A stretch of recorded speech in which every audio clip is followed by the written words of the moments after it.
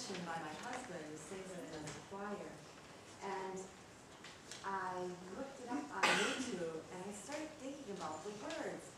And it's just so awesome to me that these are the very words that are going through my mind as I'm making, um, being a part of this community. And I thought, well, how cool for us to all think about these words together at the same time. There's questions among them, and it's good to be asking questions as we make this faith community. Um, So listen to the words and enjoy.